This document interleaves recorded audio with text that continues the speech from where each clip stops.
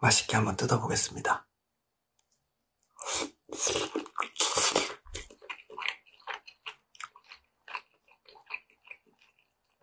어, 살코기 정말 부드러워요. 그리고 소스가 생각보다 많이 달콤해요.